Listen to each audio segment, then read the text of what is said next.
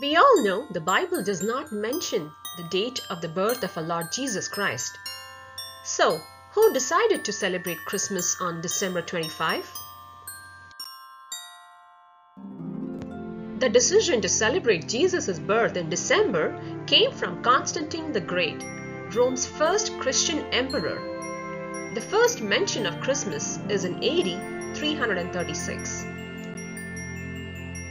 The word Christmas is not in the Bible. It comes from an English phrase meaning Mass of Christ.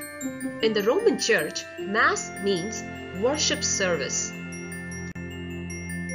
At the time of Christ, people in Rome celebrated many festivals.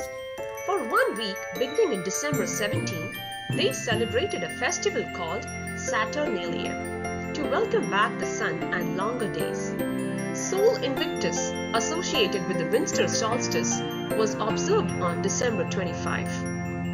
When Rome eventually instituted Christianity as the state religion in the 4th century, the Roman Church converted Saturnalia and Sol Invictus to a Christian holiday, the Feast of the Nativity, in order to commemorate Jesus' birth.